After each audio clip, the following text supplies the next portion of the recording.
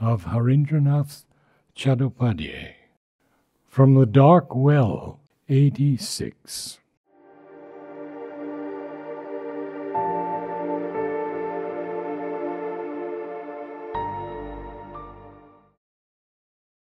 Evening is an old grey woman walking on strange blue ways, bearing upon her aged back the sombre sack of faded days. Where is she going?